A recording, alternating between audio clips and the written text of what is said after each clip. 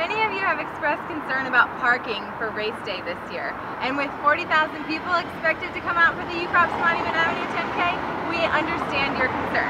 So, first and foremost, if you live close by, we highly encourage you to walk or ride your bike to the race. Uh, we have bike racks located in Monroe Park this year, so just stop by there before the start of the race and you can leave your bike and it'll be there when you get back. Or otherwise, if you have to drive, we definitely encourage carpooling. Um, you can park on the east side of Belvedere, that's probably the best place. Hopefully you can find some free street parking, but if not, we do um, recommend a couple different parking decks and directions to those can be found on our website and usually the cost for parking decks are $5 on race day. So good luck!